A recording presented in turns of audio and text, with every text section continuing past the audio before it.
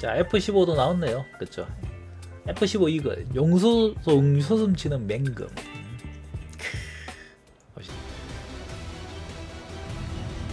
야, 전방에 공기 흡입구 저게 움직이는지 몰랐어요.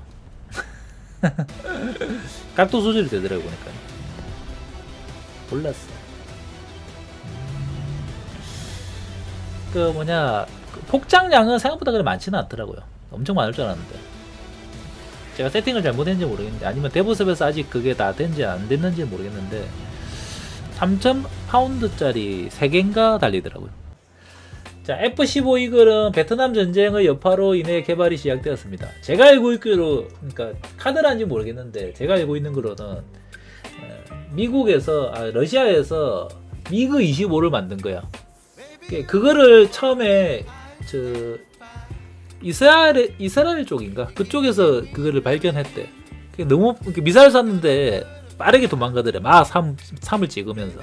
그때 깜짝 놀래가지고, 그리고 뭐 어디 첩보 위성에서 찍힌 사진 보면서 이건 엄청난 기체다. 그래가지고 스스로 개발한 게 F15라고 카드라 카드라. 혹시 제가 잘못 알고 있으면 알려주세요. 자 오늘 우리는 이번 업데이트에서 여러 국가들이 어떻게 사용될 것인지를 한번 다뤄봅시다. 자, F15는 그쪽 미국, 일본, 이스라엘에서 8랭크로 나오고요. 12.3이더라고요. 뭐 랭크는 변경될 수 있습니다. BR은. 자, 마 2.3의 최고 속도, 뛰어난 기동성, 아, 발전된 무장, 기만체들. 일단 무장은 공대공 무장은 사와 M 네발에 스페 M 네발이에요. 그대로인데. 네, 이뻐요, 이뻐, 이뻐. 자, F-15 이거를 소개합니다. 자, 곧 출시되고요. 아, 미국, 이스라엘 그리고 일본 항공기 틀이 출시될 예정입니다. 아, 그리고 여러분들이 이 장비를 통해서 엄청난 기동성과 타의 추정을 불허하는 속도와 함께 준수한 화력을 같이 사용할 수 있을 것입니다. 지금 대본섭에서 제가 타본 느낌은 출력이 엄청 좋다는 생각 안 들어요. 아, 느낌적으로는 F-16C가 좀 더 좋은 것 같아요. 기동도 F-16C가 좀 더 좋은 것 같아요. 뭐가 장점인지 모르겠어요. 다만 저속이 되게 안정적이더라고요. 저속에서. 저는 고속에서 빠를 줄 알았는데 그게 아니라 저속에서 되게 기체가 날래더라고요. 저속 구간이라는 게 어느 정도냐면 한 500km에서 800km 사이 되게 저속이잖아요. 그때 엄청 날래더라고요, 기체가. 그러니까 썬데는 그렇게 구현되어 있는 것 같습니다. 실제로 어떤지 모르겠지만. 자, 먼저 엔진의 성능을 보면 F15는 프레텐 히트니의 F100 터보팬 엔진 한상입니다. 아, 36,000 FW. 어, FW가 뭔지 모르겠습니다. 아무튼 1900M이랍니다. 예, 고도에서 마 2.3을 달합니다. 아, 피트. 그러니까 만 미터에서 마 2.3이다. 아, 그 말이네. 36,000 피트라는 말이네. FT가.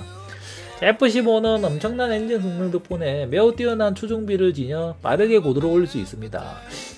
F16C하고 큰 차이 안 나던데 더 좋은 것 같은데 C가 느낌에 그래요.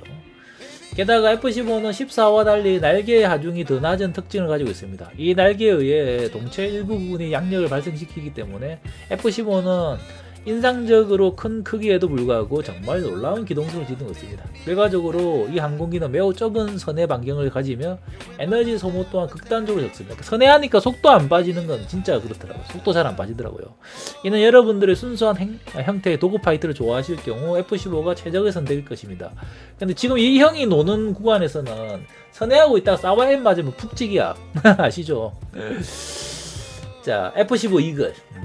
음. 기대하셨던 것처럼 매우 날카롭고 날카로운 발톱을 가지고 있습니다. Eagle은 네 발의 단거리 미사일, 사와임과 네 발의 중거리 미사일, 스페임을 가지고 있습니다.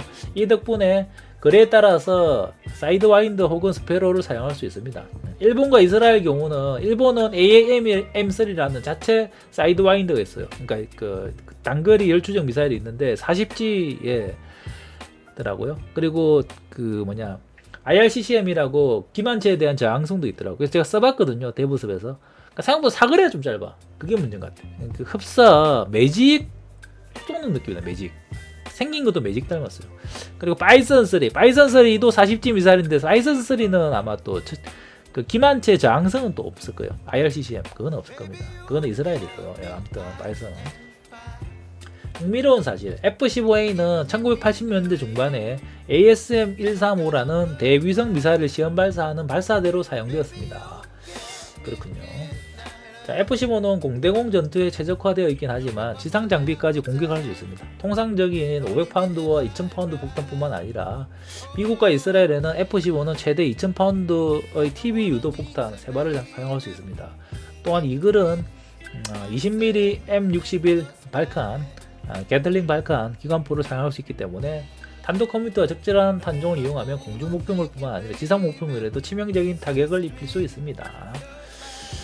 자 그렇답니다. 이뻐요. 생긴 건 이뻐. 옛날에는 제, 제 느낌에 어릴 때는 제 F14가 F15보다 더 멋있더라고요. 근데 지금은 누가 더 멋있는지 좀 이제 그 우열을 가리기 힘든 것 같아요. F15가 더 낫다기보다는 둘 다 이쁜 것 같아요. 자 마케팅 매니저 잔이 말하는 실압팁 F-15는 top tier 공중전의 meta를 바꿔놓을 장비가 될 것입니다. 그건 아닌 것 같은데 매우 강력한 엔진 탑재되어 있기 때문에 기동에 의한 속도의 감소가 매우 적긴 합니다. 그렇죠. 연료 적재량이 많기 때문에 작은 가속에도 주익이 불어질 수 있, 아, 있어 급기동은 자제하는 게 좋습니다. 연료 탱크 달고 있을 때 급기동하니까 날개 바사삭이더라고요. 아, 이러고 와 장난 아닙니다. 그거 진짜 조심해야 돼요. 자, F-15 이글은 어, 다음 주요 업데이트의 이후에 3개국 어, 미국, 그 다음에 이스라엘, 일본에 등장합니다. 자, 이번 개발자 노트에서 여러분들이 끝나지 않은 더 많은 정보가 공개될 것입니다. 조만간 뵙, 뵙도록 하겠습니다. 자, 아무튼 그렇게 나온답니다. F-15 음, 제가 대부섭에서 타본 것만으로 친다면요 음, 출력은 상상했던 것보다 그러니까 이 정도지 않을까라고 생각했던 것보다는 별로야. 에, 그리고 이제 고속에서의 선회 이런 것도 생각보다는 별로예요. 근데 의외로 저속 구간에서 기동이 되게 좋더라고요. 그래서 뭐좀 타볼 법은 한 것 같아요. 그리고 무장은 뭐 넉넉하잖아. 사와임 4발에 스페 4발이니까. 사와임은 뭐 4발은 고정이에요. 뭐더 늘리고 줄일 수도 없어요. 그렇습니다. 그리고 연료 탱크 달고 있을 때 날개 바삭삭 이건 의도한 건지 모르겠다. 그렇더라고요. 날개가 너무 부서져서 놀랐는데 연료 탱크 안 다니까 되더라고요. 근데 연료 탱크 버려도 그럴라나 그것도 한번 확인해 봐야 겠다 그거는 제가 확인 안 해봤거든. 달고 갔는데 버려서 선했는데도 날개 바삭삭 이건 일종의 버그거든요. 네, 확인해 보겠습니다. 끝.